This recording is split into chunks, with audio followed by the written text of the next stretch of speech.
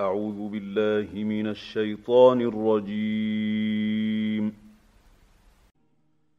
قال فما خطبكم أيها المرسلون؟ قالوا إنا أرسلنا قوم مجرمين إلا آل لوط إنا لمنجوهم أجمعين إلا امرأته قدرنا